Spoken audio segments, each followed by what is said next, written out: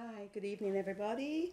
Uh, let me start with my usual um, slide first of my belief that there was one human language and it is my past, you know, uh, 30 something years of traveling and 20 years in concentration in trying to find the core that we share as a human.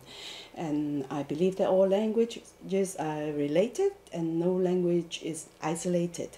And then we all speak part of the original language. And here is the uh, image of a basket starfish that uh, we share a core, all the branches are coming out. So we can no longer view the world with a hierarchical view. And I also presenting the uh, image in uh, the, my theory uh, as a, a, basket starfish, seeing that uh, from a female point of view, okay? from Asia, of course. And thank you very much. Good evening. Uh, tonight I'm going to talk a little bit about um, how the base actually you will see that a lot of the K and G sound is involved again. But then uh, it's really amazing that the more I research into it, the more I found out that a lot of the things actually originated from a very, very core. A lot of the things, uh, spiritually, they believe that is the essence. And then from that essence become the growth, the growth become uh, the, the, the, the grass itself, the growing tip of the grass. And then it actually become are all the products that made from grass, uh, the base of us, and then you will see it as I go on, okay? And now uh, let me begin with my slide. Okay, give me one second.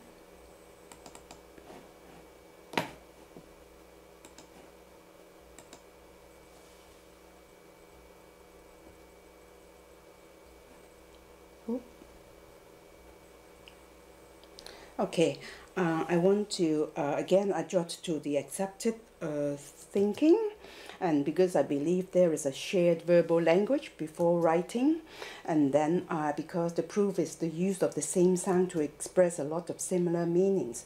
And I think too much attention uh, has been paid to grammars.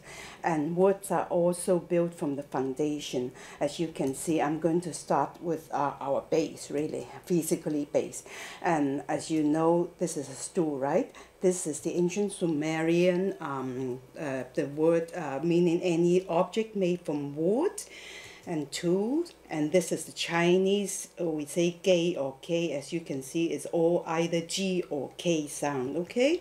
And for us, it's really the foundation. In Chinese, is the foundation, or actually this uh, footstool itself. And then this is Sanskrit, the Ga sound.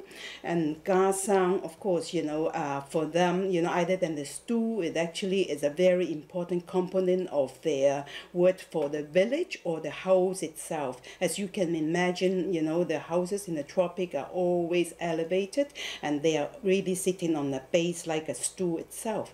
And then uh, from the Chinese, we have the same word ga as time went by. Uh, the uh, image changes. The Chinese use ga to mean home as well. This is home and this is home, both similarly sound. And then uh, I, I show you this jar right here uh, to show you how Mandarin mutates. Uh, ga is a Cantonese sound, very ancient Chinese dialect, and Jia is the Mandarin that uh, most of the scholars use as a base now. Uh, my research is based on Cantonese, the, the ancient dialect.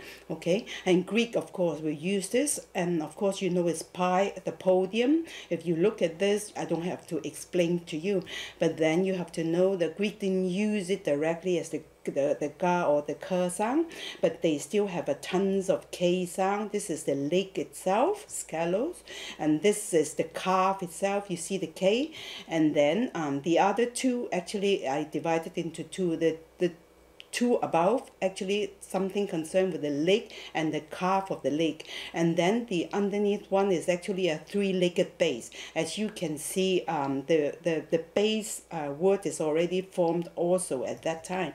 And then from Greek, you have the proto-linear, uh, Proto-Greek linear A or uh, B, and then this is a K. As you can see, is it actually drew out the base very very clearly. And then of course sometimes you know you can have a three-legged base as well. You can use it as a stool as well. And this is actually an egyptian uh, artifact. And then uh, the tibetan also have a similar symbol the ka sound. Um, and then this syllable itself is also used to mean the food and also any word to do with the root and the base so as you can see all these similar symbol uh, carrying the same sound, having the same conceptual meaning uh, in different areas. And in Chinese, of course, we have another word later on, and this is a person sitting on a bench or, or, or a stool itself. It sounds as gay or goi, and for us, it actually means the home or the dwelling of, of us of, of ourselves. And then uh, the mutation here is also ju, and as you can see, this is a mutation uh, between Cantonese and Mandarin. And um, if you don't believe these are uh, symbols, but I will show you a real pictograph in the ancient Egyptian. This is a letter G, okay? Uh, can you see that it's also a stool? And then, of course, you know, from Latin, you have the casa, which is a house, or castrum, which is a castle. So still state very clearly in the um, English language. And then, of course, this is just a later stage of development. Why do I say that? Because uh, um, long before we start to elevate ourselves on a stool, we definitely has to start from the ground itself. And um, in an earlier stage for the K and G sound, as I said, is from that little grass itself. And that little grass, you know, actually uh, moved on to become uh, the, this is Sumerian, uh, kit or kita, actually means the mat itself, you know, depending on where you lived. You know, either uh, what's underneath you is very, very important. If you have watched the program that I uh, try to introduce my idea, you will see that how important the base is for human being. I uh, show you a picture that I took in the uh, in, in the Yemeni desert, and then uh, it shows you that uh, without a mat, without anything on the ground, we actually have no way to sit on the boiling hot or, or freezing cold ground. So having this technology is very important for human being to move forward. So before we chip the um, stone tool, we do have to manage to uh, manipulate this skill of uh, weaving the mat. So uh, this is a very important skill. And then, of course, you know, staying on the ground, this gali is in Persian, a carpet, and kilim is the Turkish wood for a rug. And then, of course, you have the English word carpet. You say this ka, ki, ga, all the same sound, okay? And then uh, after we uh, begin to uh, weave our mat, of course, a little bit of curve will become uh, our basket. And you can see very clearly the, from Assyrian, and this is one of the earliest cuneiform, but actually you can still roughly see the pictorial form right there. The K and the key actually for them means uh, a location. Uh, the location, of course, you know, where you sit. You know, this is the hieroglyph K, very clearly the basket. This is the Chinese K or K and this is actually a basket we understand it well. And uh, later on the basket actually have the base that you saw a while ago for us this become the foundation word you know it pronounced as gay as K or gay as well. And very interesting the uh, Sumerian actually have a symbol like this actually reverted back to basket. This actually means basket but the sound is actually um, uh, went another direction uh, which also linked to all other languages. I will not confuse you right here, but you just need to look at the similar shapes. And then um, this linear B, this is a car. Look at the similarity. And then this is very precisely a basket with a handle just like this here. And it's a syllable called K, key okay and then this is the K which you have seen already like the base and you can see uh, from the linear B which is in uh, where the Greeks are now. So later on the Greek actually inherited all this you know kata is uh, the word for underneath beneath okay? And then uh, kanya is a, a basket and then kalathi or kalathi is also a, uh, basket. You see all this ka ka ka, and then uh, on the other way it shows the other way Sanskrit the kata. This is exactly the same sound. Okay, in Sanskrit kata definitely just means mat clearly it means the floor mat itself. And kandala is the basket. Still, you know, you see the same system course in cane and basket. Even later on as the case, casket, all these English words all belong to the same development of this technique when you weave them into uh, containers. And then um, now I show you the basis in different contexts. Um, yeah, this is uh, ancient Sumerian goddess sitting on her throne. And this is a Chinese emperor on her on his throne. And this is the gay that we have. And of course, you know, this is too simple to, to show it is the emperor. That's why we have another more complicated form pronounced exactly as the gate as the throne of the emperor. And uh, as you can see, the Japanese, the, the, the Aztec, the Mayan, they were all sitting on a mat, but these were considered as the throne. And then if you go back to the Mediterranean area, this is the Cycladic islands of the Greek. And then uh, you can see very clearly that um, this is the, the sign that they use. But of course, it took up the P sound, you know, and of course, it also uh, developed in another direction. But this is the Sanskrit Ga. And uh, I follow in order to understand the use of languages. I follow um, Orthodox for a few years. You know, I've been in uh, the church all the time, and then this is a very typical thing of the bishop standing on a little carpet right there. It's very interesting. This little mark right there marks his special position, and no one will be able to stand on that little carpet. You know, when the bishop moved around inside the church, this carpet will be held will be held by will be held by someone and taken along along wherever he stands, they will put down the carpet and showing the throne of the bishop itself. And then I will show you this Greek word called kat. Kat is actually means to sit or the seat itself. And then um, this uh, alphabet itself in ancient time is mixed with two alphabet, either the th sound or the k sound. And then um, it actually links back to the Egyptian k sound. As you see, this is really if it's uh, weaved by uh, the reed itself is like a basket. And you look at it, the cat itself is a seed. Whose seed is that? But the god, but the goddess or the gods. Okay, and then of course from the kat in Greek you uh, extend it to the Latin cathedra. Cathedra means the seat. The seat of who? The seat of uh, the bishop, and which became the English word cathedral, which is definitely the seat.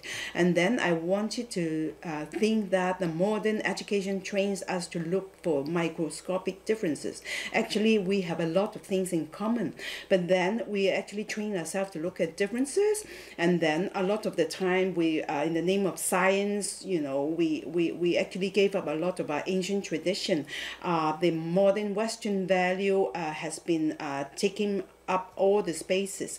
And then now I want to show you some example how we were trained as a child. I'm sure a lot of you had undergone these things. The more uh, ability you think you have to, is to spot differences. Look at this too, the differences on the color of the eye. And then what is the differences of this? Honestly, I cannot see any differences. But according to the YouTube that I saw, they said there's one more black hair right there, okay? If you if we train ourselves into something like this, I really have nothing to say. Look at this. They said also it's different because one is more gray, the other one is more blue. Uh, accordingly, I am not intelligent at all because I really can see any difference and and also this you know this according to them is different because one is eye is big the other one is smaller. So uh, so according to this kind of theory definitely uh, maybe I am not human being. Because being born a Chinese my eyes are definitely much smaller. So uh, if we train ourselves to spot differences like this there's a lot of danger uh, you know hanging around. And this is one of the tests that they give you to spot the differences. Can you see this tiny little differences right there I think intelligence actually is to acknowledging differences, not picking out differences. And then uh, what's the, all these circles doing? They are all separated circles, right? And I think, you know, the more we want to uh, uh, stress this purity, we begin to look at purity of bloodline and then it becomes a base of racism. And also, uh, I think it actually, we are really brooding atrocity right in front of us. And why don't we look at this difference, you know, and make use of it and appreciate the differences because you know if we only have circles you cannot do anything. But if you have this little brick right here you can actually use it to link up all the other circles to make a strong strong chain metaphorically of course you know but in reality truly. And if we are doing this in our education system, keep pointing to the narrow differences, where the more we look at this one little thing, we think we know all the world around us. This is very dangerous. I think uh, it is better for us to look at a wider angle, look at all the culture diff- cultural differences, and as long as we know this, we actually begin to realize that behind our back we cannot see. So uh, actually, the wider we look at, the more we know that we do do not understand what's behind us. The more we focus into one little thing, the more these people will think that they know everything from that one little angle. Okay? And so uh, i want to show you also you know in ancient time how do people express the the, uh, the view of uh, 360 degrees? Um, now science actually means the death of imagination. Whenever you bring up religion of spiritual beliefs you know people will just shut you down. But how would people uh, imagine their god is? Because we only have two pair of eye facing the front. So i think the people imagine how their God is to be just. Uh, uh, that's why they create God's image, whatever religion they are. They create, they imagine that they have actually four head. In comic, you can write it, you can paint it draw it like this. And in Buddhism, they have it like this. In Hinduism, they have it like this. Of course, they have got names for this god and uh, Brahman or Bhagwan. And then um, it's actually become like schizophrenic. And nowadays, you know, because the Western dominated uh, education system, whenever you talk about the Eastern religion, they will keep saying, telling you that you are superstitious.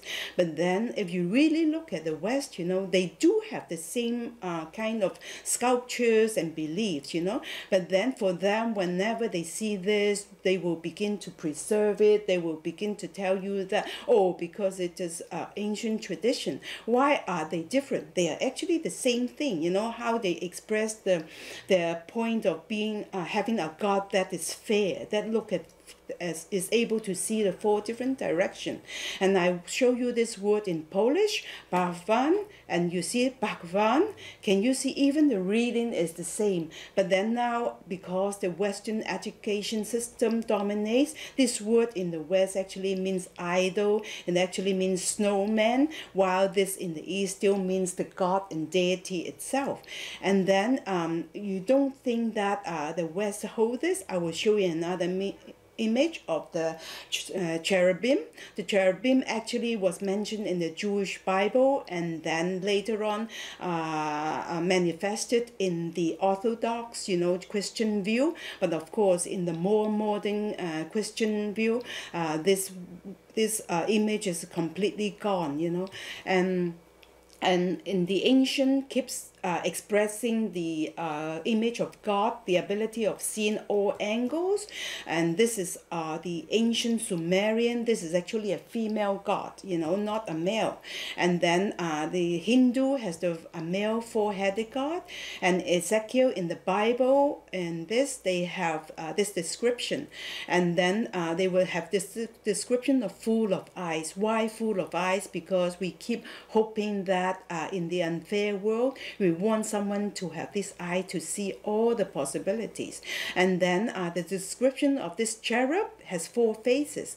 And then um, at the beginning it was four equal faces. But in this stage of the christianity they i mean in, in, in hebrew it will begin have the face of a cherub which means you know uh, gradually they are hiding the face of an ox okay? An ox a man a lion an eagle. And of course it actually uh, inherited in the christian view you know become the four evangelists.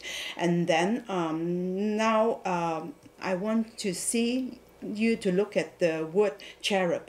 And if your world's cherub is only a light color, blonde hair, little chubby little baby, then you are ignoring all human contribution in our struggle for fairness and also a fair judgment. Because you know, cherub is actually not the correct pronunciation. If if you follow the uh, Hebrew Bible, it will be something like krub itself. So why are you pronouncing it like cherub? And so this shows you that uh, can we really trust in modern writing? I think uh, we always have to be a little bit skeptical and a little bit a little bit critical on our writing system because writing system have many many flaws and we keep reading flaws into it and then uh, we should always step back a little bit. We should not if you are holding a stronger position you should not be monopolizing the interpretation of everything in this world. Because all we see now is the contribution of every single human race on earth in the past thousands and thousands of years. And i will should give you an example how writing confuses. And recently this is a very talked about uh, uh, topic. And one is uh, I show you this view from a TV from the CBSN, and one is in America. This is the, the, the reporter in America. This is another reporter in Istanbul. Um, and the writing itself is like this. But if you are blind, you do not see this writing. You will hear the, the reporter in Istanbul uh, pronounce it, it as Khashoggi. Okay, and then in America, the uh, reporter will be keep saying Khashoggi. So why is it the two can never agree with each other? Well, because the reporter in Istanbul, uh, the, he she cannot uh, hold this pronunciation because if he if she keep talking to people with this pronunciation Khashoggi, no one will in Turkey will understand what she's talking about, and and but the power lies on the uh, reporter in America.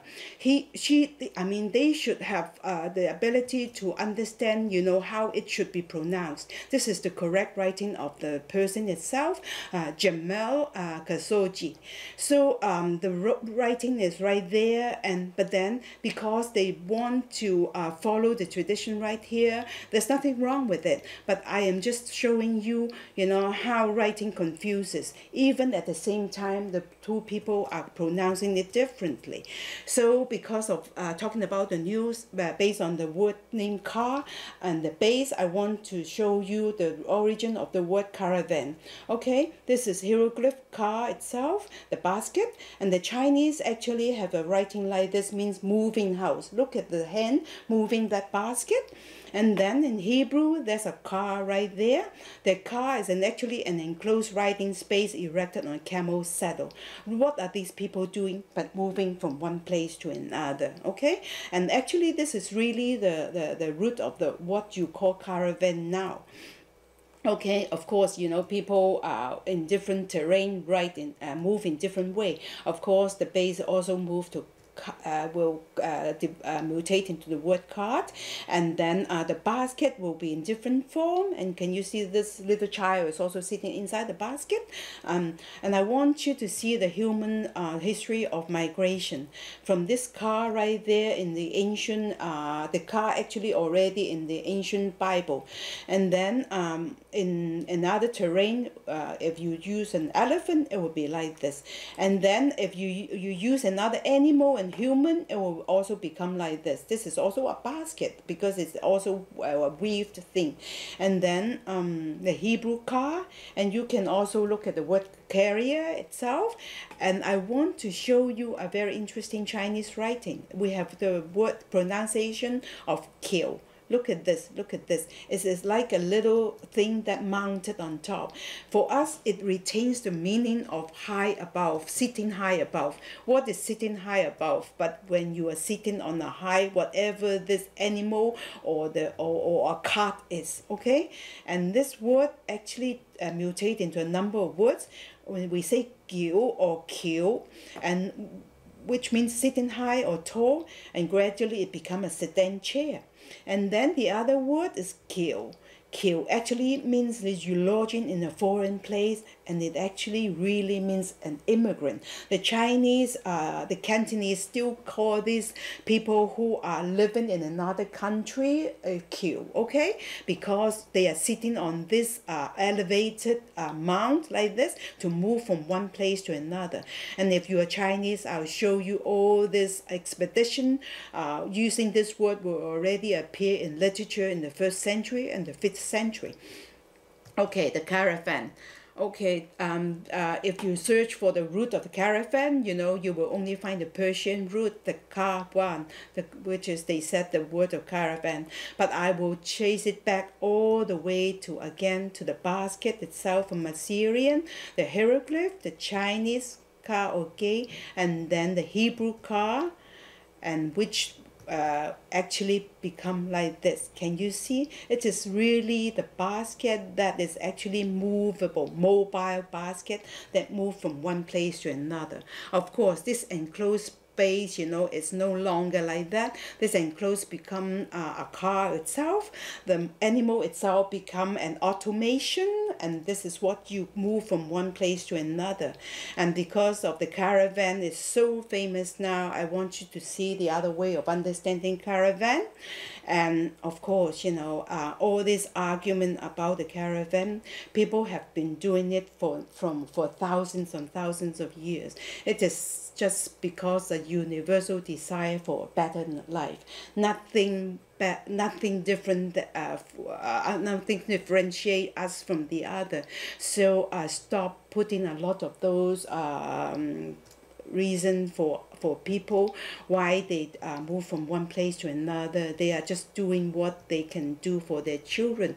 So uh, in searching for this you know i look at the word altruism but i think um, time is running uh, short. I think I will just end it right here. Uh, in case it's just too much I will talk about the word altruism because it has a lot to do with the bull itself too. I hope I haven't jammed too much into your brain this time. And uh, thank you very much for watching. And uh, I hope you understand what I'm trying to get through to you. Thanks a lot. And have a nice evening. Okay bye